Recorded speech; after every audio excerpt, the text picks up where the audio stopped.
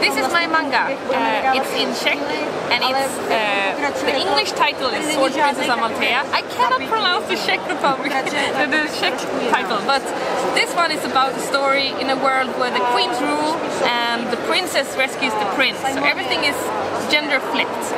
Um, it's really thick, so this is the whole story. Uh, and it's manga inside. It's Swedish manga. So this is made by me from Sweden and it's published here. So it's a fairy tale or? Yes, it's kind of like a satirical fairy tale, kind of. So you're attacking the classic fairy tale with prince and... Yeah, yeah, yeah. Especially because um, we, when we see fantasy stories, it's often about men uh, fighting and doing things, and the women stand in the background, and I wanted to change it.